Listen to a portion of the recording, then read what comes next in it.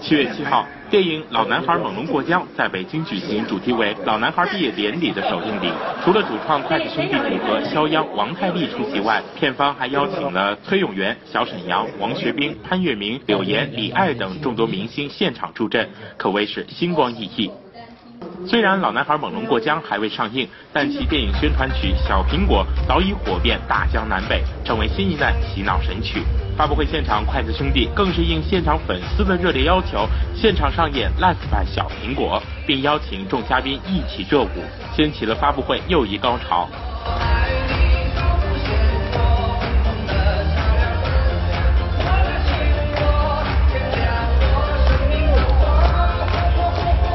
自小苹果与观众见面后，引发了各个版本的翻唱改词，歌曲也因为旋律朗朗上口，舞蹈动作舒展简洁，被广场大妈们视为新宠。在采访中，小苹果歌曲创作者王太利告诉记者，看到小苹果能够给人带来欢乐，自己也觉得十分的幸福。觉得如果作为一个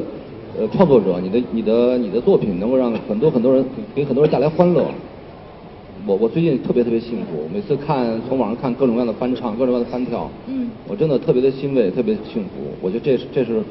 花多少钱也买不来的。虽然有着颇高的传唱度，但神曲也因为扰民遭到了不少人的吐槽。有记者问到会不会担心因为这个原因而影响到票房？筷子兄弟回应称其实并不担心，因为小苹果好像餐前水果，而接下来的电影《老男孩猛龙过江》才是可以让观众享受的大菜。其实它仅仅是一首歌而已啊，然后它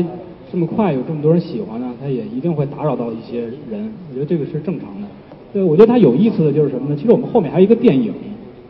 我觉得有一个特别恰当的比喻，就是如果老男孩猛龙过江，我把把它比喻成一一桌宴席的话，那小小苹果呢，它正好是你前餐的那个特别可口的一个水果。其实这餐宴席里，你会如果你真的来走。走进来享受这一餐宴席的话，你会发现它有很多大菜，